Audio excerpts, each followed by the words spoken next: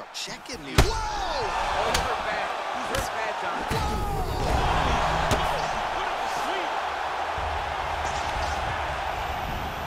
Now look at him jumping in to try to get the finish. Oh, wow, oh!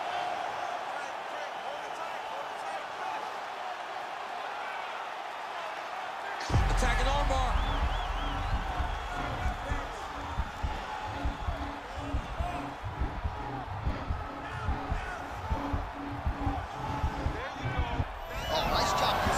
He's okay.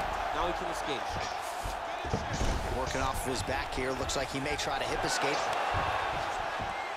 Oh, nice job to reverse position on the ground. And now Masvidal's got the back going for the rear naked choke. He is doing a really good job of relaxing, not panicking because he's getting choked. Oh, he might have got